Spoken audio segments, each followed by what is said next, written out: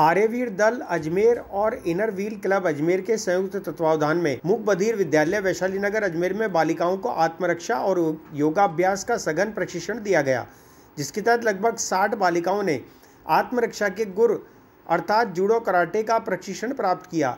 साथ ही योगाभ्यास का प्रशिक्षण भी प्रदान किया गया, जिसके तहत समस्त बालिकाओं को स्मरण शक्ति विकास के लिए पश्चिमित्वासन शशांक आसन लंबाई बढ़ाने के लिए ताड़ासन और समस्त शरीर को स्वस्थ बनाने के लिए भुजंगासन, धनुरासन नटराज आसन अनेक आसनों का प्रशिक्षण दिया गया। आर्यवीर दल के जिला संचालक विश्वास पारिक ने बताया कि यह शिविर 20 दिवसीय रहा। उक्त शिविर में समस्त बालिकाओं ने आत्मरक्षा के लिए जूडो, कराटे और स्वयं की दिनचर्या में योगाभ्यास को नियमित रूप से करने का संकल्प लिया।